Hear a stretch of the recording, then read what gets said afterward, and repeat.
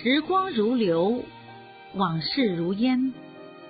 人物百家，回首悠悠岁月，讲述真实历史。百家人物，正如那天上的星星，闪烁在夜空里，长留在记忆中。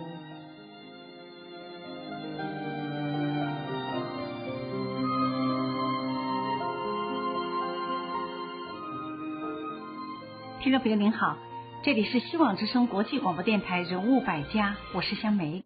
听众朋友您好，我是紫菱。紫菱好，上期节目里啊，我们说到张志新看到全国各地到处是文攻武斗，来到北京后呢，又见证了亲人的被迫害，这一切呢，让张志新陷入了深深的困惑。是啊，就是因为这些呢，张志新开始思索了。他发现这些社会现象的背后，其实是来源于中共高层的残酷的内斗。从那时候起呢，他就开始对毛泽东产生了怀疑。到了一九六八年的一个星期天，她和丈夫曾铮到同事家里面去借江青的讲话资料。聊天当中呢，他们谈到眼下的局面时，张志新坦诚的说出了自己的看法。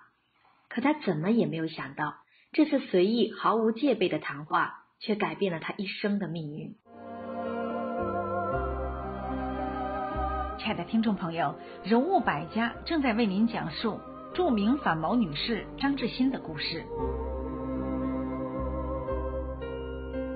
她都说了些什么呢？事情是这样子的，张志新当时呢在辽宁省宣传部文艺部工作，他的单位有个宣传副部长叫安波，当时呢正在受批判。张志新就不明白，安波四九年前就已经创作了那么多的红色歌曲。应该算对共产党很忠心的呀，怎么还能受到批判呢？是啊，另外呢，听说有一个掏粪工人叫施传祥的，嗯，因为被说成是刘少奇的孝子贤孙，被整得家破人亡。张志新实在是想不通这些事情，就在同事家里面跟他说起了这些事。那他这个同事是什么态度呢？那时候辽宁省委已经分成了两派了，张志新的这位同事呢，不同意张志新的想法。于是呢，就想拉他站到自己这边来。没想到啊，张志新给他的回答是，他考虑的不是这派那派的问题，是中国当前的路线问题。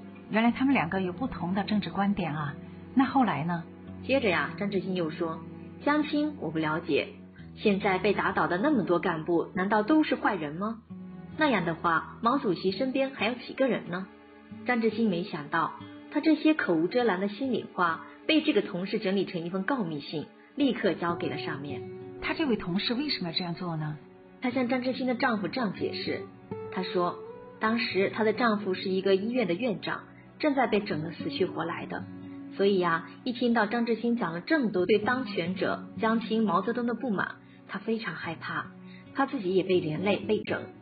出于保护自己呢，她就把张志新说的话记下来了，马上向对立派打了张志新的小报告。他以为这样做可以减轻对他们的迫害呢。是啊，没过多久，张志新和辽宁省五大机关的三万多名干部一起都被送进了盘锦五七干校。这里呢，集中关押的都是中共党政机关干部、科研文教部门的知识分子。哦，张志新预感到自己要挨整了，他觉得这次离家不会是一次短暂的分别，于是呢，他提议一家人合影留念。随后呢。张志新就带着全家福上路了。他们把这么多的人关到武器干校里干什么呢？就是被洗脑啊，强行改变思想啊。有一次，干校组织张志新和他们的宣传部的同事们一起学习，然后呢，让大家谈谈对文化大革命的认识，还要每个人说出自己真实的观点。张志新就想了，既然是党要听真实想法，那应该表达真实的观点。于是张志新就说。我认为文化大革命左了，刘少奇不是叛徒、内奸、公贼，许多被打倒的老元帅、将军、老干部都是革命功臣。听了他的这番话，在场的人都吓了一大跳。在这种情况下，他还这样说啊？那后来呢？会后没多久，张志新就被登上简报批判了。张志新不服气，继续大胆的说话。有些心眼好的同事呢，就私下劝他。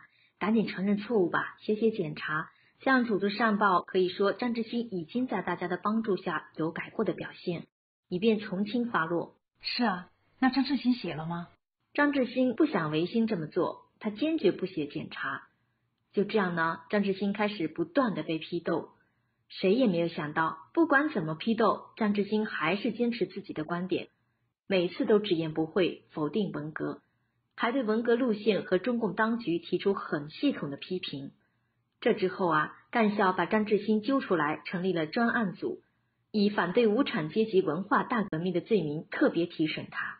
那专案组的高压政策能改变张志新吗？没有啊。一九六九年初，张志新的丈夫曾铮。被带到五七干校参加批斗大会，他没想到的是，批斗的对象竟然是自己的妻子张志新。在批斗会上，张志新第一次系统的阐述了自己的观点。他怎么说？张志新说：“对江青提点意见有什么不可以？江青有问题，为什么不可以接？中央文革可以接吗？”他还说，江青把很多电影、戏剧都批了，现在剩下几个样板戏，唱唱语录歌。这样搞下去，祖国的文化艺术不是越来越枯竭和单调了吗？他对林彪提出什么一句顶一万句，什么不理解也要执行，这样下去不堪设想。这不是树毛主席的威信，是树林彪自己的威信。我对林彪没有什么信任。这些问题都好尖锐啊！是呀，张志新说，毛泽东发动的文化大革命是错的。他认为中共建政以后，毛泽东犯了错误。最主要的错误是1958年大跃进以及三年困难时期的人民公社，这就是所谓的三面红旗。嗯，张志新认为，毛泽东借文化大革命推行左倾机会主义政治路线不是突然来的，从一九五八年就开始了，发展到文化大革命是登峰造极。他居然说这些都是毛犯的错误啊！是啊，张志新还提出了文化大革命是党内的左倾路线错误的继续发展。从党内扩大波及到社会的各个阶层领域，他认为这次路线斗争借助群众斗争形式、群众专政的方式，实行了大规模的无情打击和残酷斗争，造成了严重的恶果。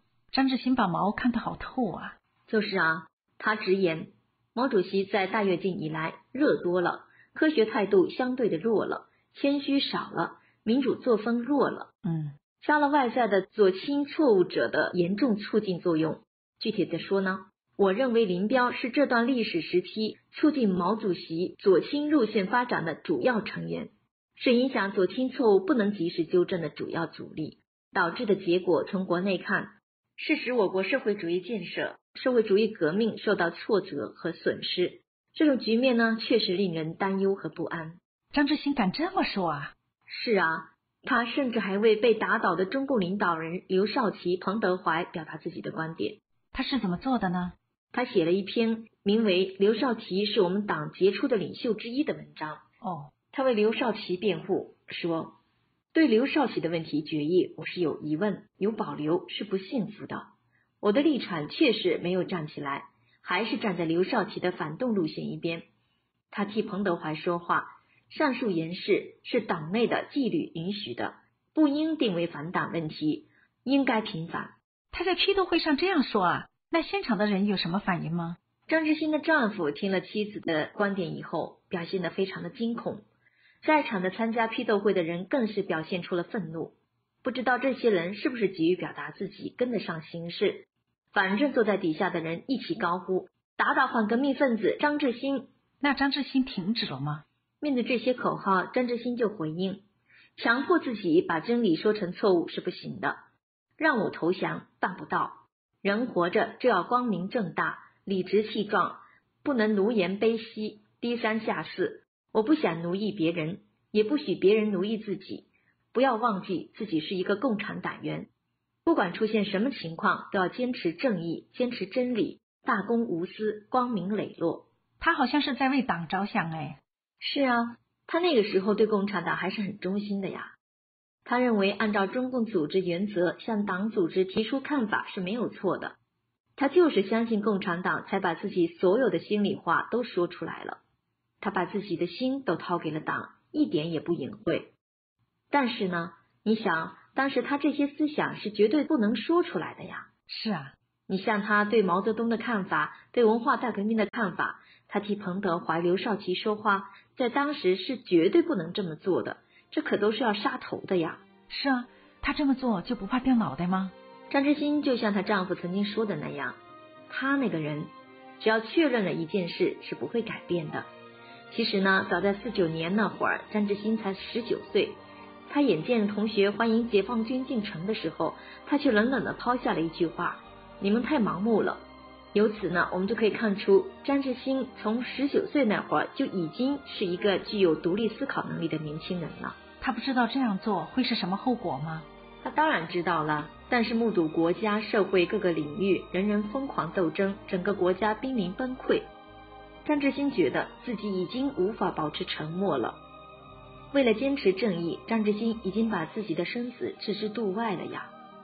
张志新始终坚持自己的观点，在文化大革命疯狂的年代里，他的命运将何去何从呢？亲爱的听众朋友，请您继续关注人物百家著名反毛女士张志新的故事。听众朋友，感谢您的收听。下期节目，我们将继续为您讲述张志新的故事。如果您对我们的节目有什么好的建议或意见，请您在我们的 Facebook 主页上面留言，我们会尽快给您回复。我们下次节目时间再见。